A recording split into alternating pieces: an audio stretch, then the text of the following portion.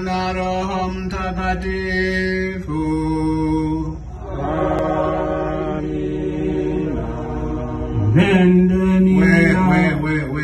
Wakienda hiyo ingine itafanywa aje?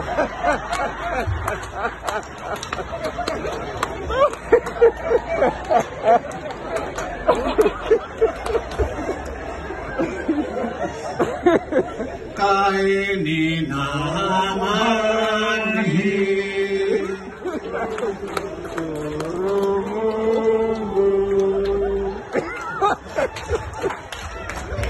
Ni para